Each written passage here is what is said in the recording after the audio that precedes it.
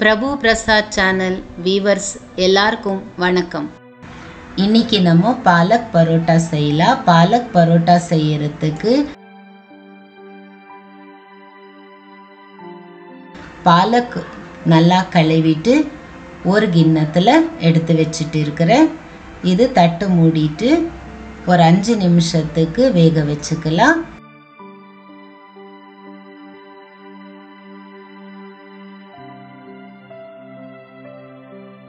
பாருங்க இப்படி இதை ஆற வச்சு மிக்ஸி பண்ணிக்கலாம். பாருங்க இது ரெடி ஆயிடுச்சு. பாலக் பரோட்டா செய்யறதுக்கு தேவையான பொருள்கள் ஒரு கப்பு பாலக் மிக்ஸி பண்ணி இருக்கிறது எடுத்து வச்சிருக்கிறேன் ஒரு கப்பு கோதுமை மாவு அரை கப்பு கடல மாவு மிளகு ஒரு அரை ஸ்பூனு மிளகு தூள் மல்லித்தூள் ஒரு ஸ்பூனு ஒரு ஸ்பூனு வெர மிளகாய் தூள் அரை ஸ்பூனு மஞ்சாத்தூள் சுடுறதுக்கு எண்ணெய் தேவையான அளவுக்கு உப்பு ஒரு கால் ஸ்பூனு கரம் மசாலா ஒரு ஸ்பூனு எலுமிச்சப்பழம் ஜூஸு இஞ்சி ஒரு நாலஞ்சு பச்சை மிளகாய் இடித்து எடுத்து வச்சிருக்கிறேன். சீரகம் அரை ஸ்பூனு. இப்போது ஒரு பவுலில் எல்லா இன்க்ரீடியன்ஸும் போட்டுட்டு இருக்கிறேன்.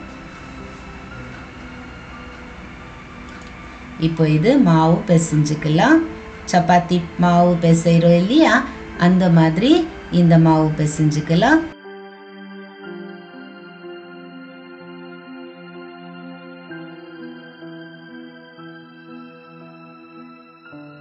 கொஞ்சோண்டு எண்ணெய் போட்டுட்டு இது நல்லா நைஸ் பண்ணிக்கலாம்.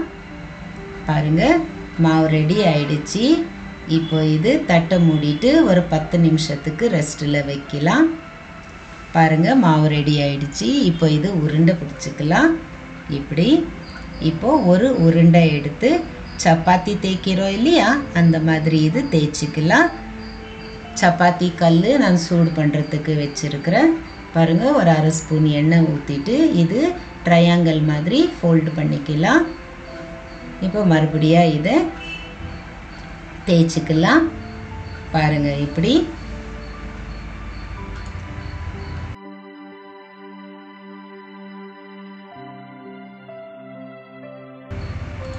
தவா சூடாயிடுச்சு. இப்போ தவா மேலே இது போட்டுட்டு இருக்கிற பரோட்டா பாருங்கள் இது திருப்பி போட்டு எண்ணெய் ரெண்டு பக்கமும் கொஞ்சம் கொஞ்சம் எண்ணெய் ஊற்றி இது சுட்டுக்கலாம். நான் இன்னொன்று உங்களுக்கு காமிச்சு கொடுக்குறேன். பாருங்கள் எவ்வளோ க்ரீன் க்ரீனாக ரோஸ் கலர் அழகாக வந்திருக்கு. பாலக் பரோட்டா இது சாப்பிட்றதுக்கு ரொம்ப நல்லா இருக்கும். இது தயிர் கூட ஊறுகாய் கூட கூட வச்சு நம்ம சாப்பிடலாம். பாருங்க ரெடி ஆயிடுச்சு. இப்போ இதை எடுத்துடலாம். இன்னொன்றும் நான் உங்களுக்கு சுட்டு காட்டுறேன். பாருங்க இன்னொன்று உருண்டை எடுத்துட்டு இது தேய்ச்சிட்டு இதில் அரை ஸ்பூனு எண்ணெய் ஊற்றி ஃபோல்டு பண்ணிக்கலாம். ட்ரையாங்கிள் மாதிரி ஃபோல்டு பண்ணி மறுபடியும் இதை இப்படி தேய்ச்சிக்கிட்டு தவா மேலே போட்டுட்டு இருக்கிறேன் இது உல்ட்டா பண்ணலாம். இப்போ கொஞ்சம் எண்ணெய் ஊற்றி இது கூட நல்லா சுட்டிக்கலாம். பாருங்க எவ்வளோ அழகா க்ரீன் க்ரீனாக வந்திருக்கு.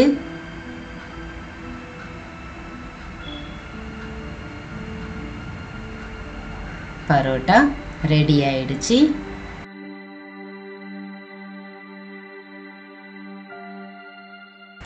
இப்போ இது சர்விங் பவுலில் எடுத்துகிட்டு இருக்கிற பாலக் பரோட்டா. ரெடி